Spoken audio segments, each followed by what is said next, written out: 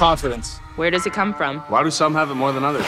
How can young players find it? How can beer leaguers get more of it? How can pros keep it? It comes from being 100% comfortable with your gear. Because it's only when your gear feels just right. Do you have the extra confidence to go all out and play to your fullest potential?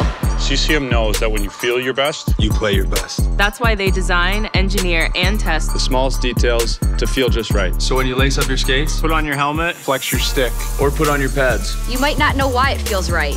And that's okay. Just know that CCM does. and they got the art down to a science. So now everyone can feel more comfortable wearing CCM gear. And feel more confident in taking their performance to the next level. When you feel your best, you play your best. because when things feel just right, Who knows where your best will take you?